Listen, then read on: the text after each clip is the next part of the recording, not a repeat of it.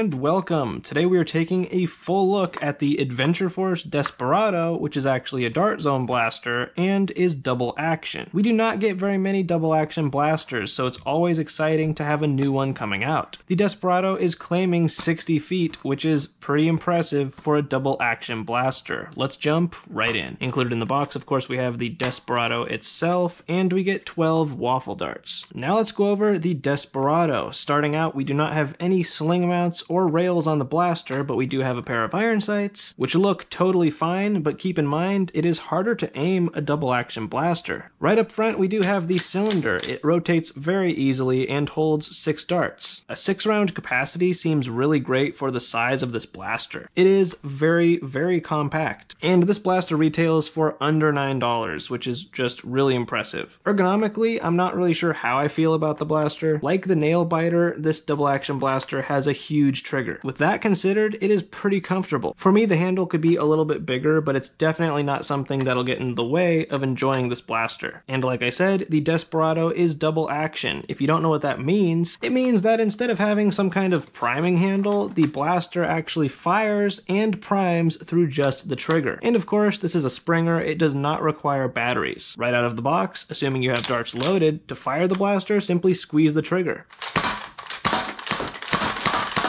That is a very smooth action, and the Desperado is super fun to fire. But like with any double action blaster, the Desperado is a little bit more challenging to actually aim. Let's fire this thing again.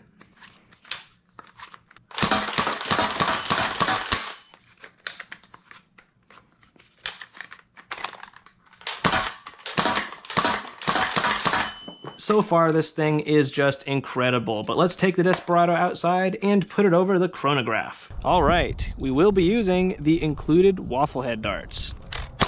73, 70, 71, 72, 68, and 74. So the Desperado, while being a double action blaster, actually hits like a standard primary class elite blaster. That's actually pretty impressive because the double action Nerf brand blasters like the Nail Biter, the Voidcaster, and the Snapfire 8 have all hit under 60 feet per second. So as a double action blaster, the Desperado being able to hit 70 feet per second easily is really incredible. I am very satisfied with that performance. Now let's fire some shots downrange.